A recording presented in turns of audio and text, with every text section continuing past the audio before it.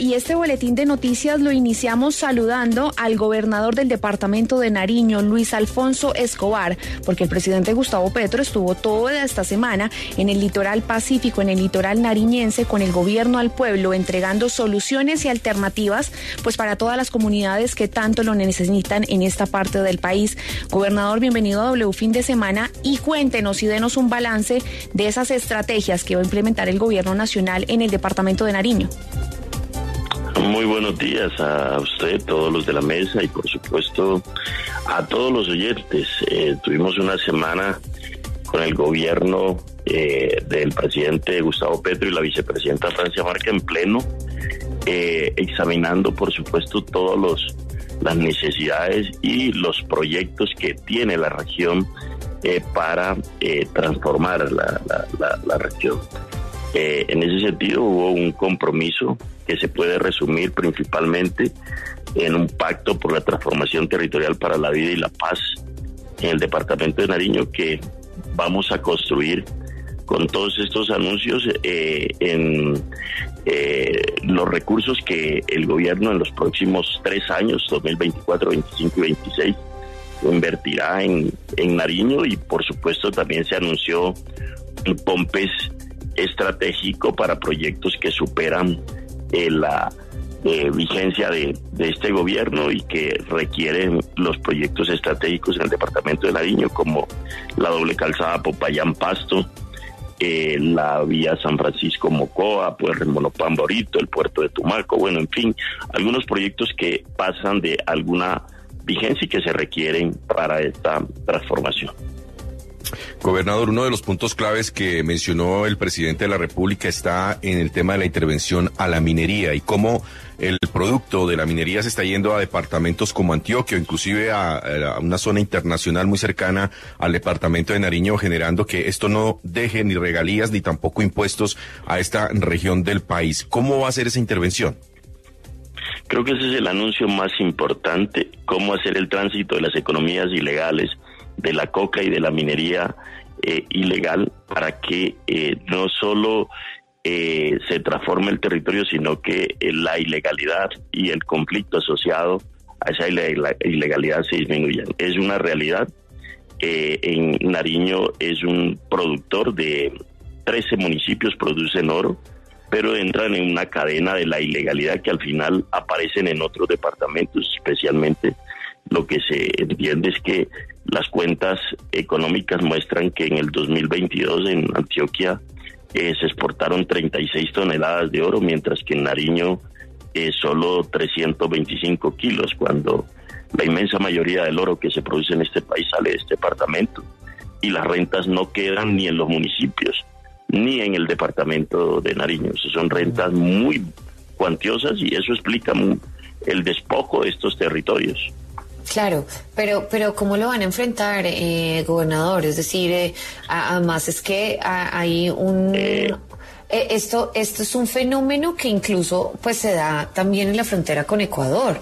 Entonces, ¿cómo lo van a enfrentar? ¿Con policía, con más fuerza pública, con la articulación de todas las autoridades? ¿Cómo lo van a enfrentar puntualmente?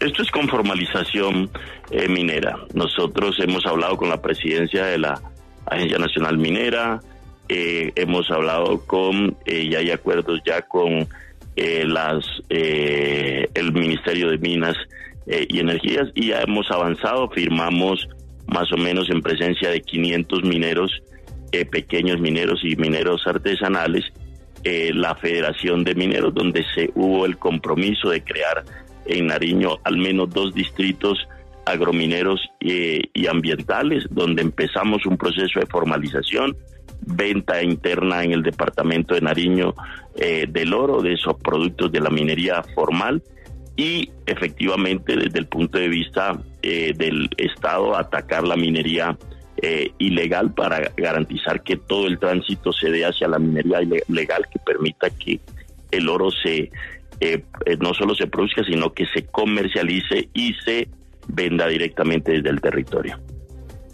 Gobernador, otro de los puntos que llama poderosamente la atención, aunque no es un secreto, es lo que ha denunciado el presidente de la República de la cercanía de las autoridades. El departamento de Nariño es uno de los departamentos que más presencia en hombres de fuerza pública tiene y él ha mencionado que esto debe cambiar en el funcionamiento, sobre todo para la recuperación del Estado y la seguridad de la, de la ciudadanía. Que ese, ese, hay una corrupción alrededor del funcionamiento del Estado en ese sentido y sobre todo de fuerza pública con narcotráfico y minería ilegal que hay, que cambiar. ¿Por dónde va a empezar ese cambio?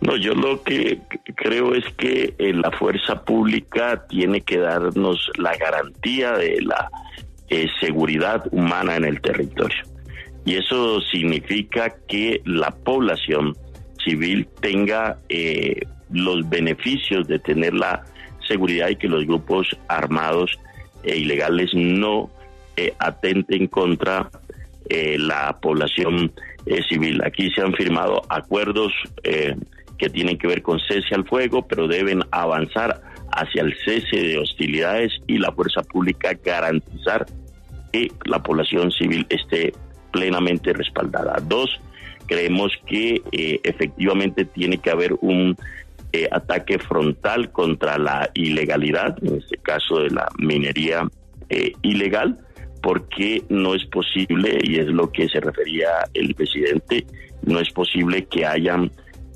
presencia, por ejemplo, de dragas, que hayan presencia de grandes maquinarias en los territorios en plena eh, a, la luz, a la vista de todo el mundo y no hayan acciones concretas sobre eso. Vamos a ir en aplicación de la fuerza, pero también en formalización para que esto vaya transformándose en el departamento de Nariño.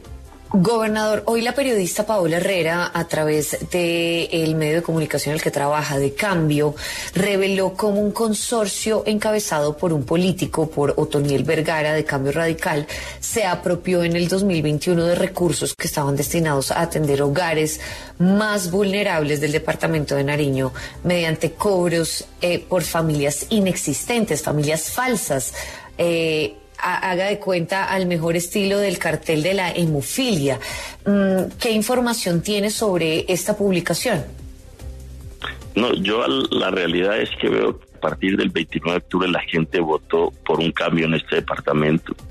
Y cosas como esas que se saben en este departamento que han ocurrido eh, a través de la relación de los políticos tradicionales que han gobernado este departamento y que han tenido una relación de contubernio muchas veces con eh, las, eh, con los gobiernos eh, que mm, manejan las instituciones a nivel nacional, pues han dejado al departamento en estas situaciones que no, no son nuevas, ¿cierto? Pero que nosotros esperamos que en un gobierno como el nuestro no aparezcan ni las más mínimas señales de, de esto, porque lo que tiene que ver con el PAE, lo que tiene que ver con eh, los eh, recursos tanto para eh, la salud como para la educación y, estos temas que tienen que ver con bienestar, estamos trabajando de tal forma que este tipo de, de situaciones no se presenten.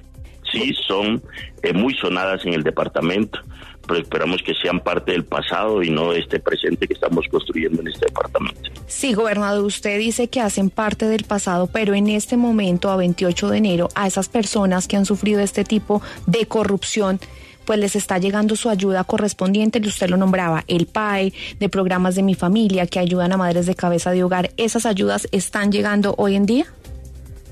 Yo le hablo por la institución que yo eh, eh, coordino con la institución que yo gobierno, que es el Departamento de Nariño, y estoy convencido que en lo que tiene que ver con estos 29 días en los que estamos eh, construyendo eh, eh, los contratos para el PAE indígena y el PAE general, este tipo de situaciones no van a ocurrir. Espero que en el caso de la el ICBF, que es una institución del gobierno nacional, eh, por lo que entiendo, este tipo de cosas tienen que corregirse y se están corrigiendo, pero hablo en especial por el gobierno departamental, donde yo espero que la ejecución del PAE tenga toda la transparencia que hemos que estamos diseñando. Gobernador, también le cambio de tema y que tiene que ver con lo que está pasando en todo el país y es los incendios forestales. En Nariño, hasta ahora, ¿cómo está la situación? ¿Ya está controlada? ¿Qué panorama tienen allí en esa parte del país? Hasta ahora en Nariño no se ha presentado eh, ningún eh, incendio de, de, magnitudes como las que se están presentando en el en el país. Hubo un momento el mes anterior donde sí hubo esas alertas y nosotros lo hemos eh, lo hemos dicho. La situación de variabilidad y cambio climático que se está dando es preocupante y nos estamos preparando. Lo hemos hablado en en, en los eh, en los distintos consejos de gobierno que he hecho con mi equipo, pero también eh, con la unidad de gestión del riesgo a nivel nacional y en los PMU que hemos realizado. Nos vamos a preparar eh, para prevenir estas eventualidades que puedan ocurrir en el departamento de Nariño, pero no hemos tenido eventos extremos como los que hoy se está viviendo en Bogotá, en, todo el país. Pues él es el gobernador de Nariño, Luis Alfonso Escobar. Muchas gracias por estar aquí en nuestros micrófonos de W fin de semana. Bueno, muchas gracias.